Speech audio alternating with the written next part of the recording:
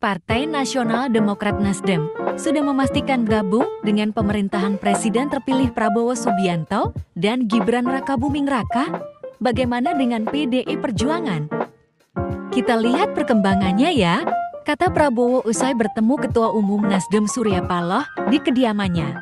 Sebelumnya, Ketua Harian Partai Gerindra, Sufmi Dasko Ahmad, menjelaskan rencana pertemuan tersebut tengah dibicarakan dia tak mengungkapkan waktu pertemuan, hanya menjanjikan akan diinformasikan saat waktunya tiba.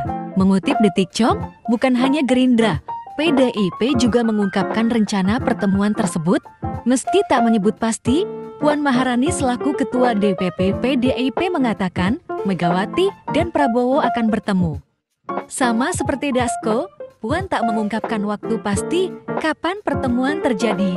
Kembali dia hanya menjawab insya Allah saat ditanya pertemuan akan terjadi usai lebaran ini.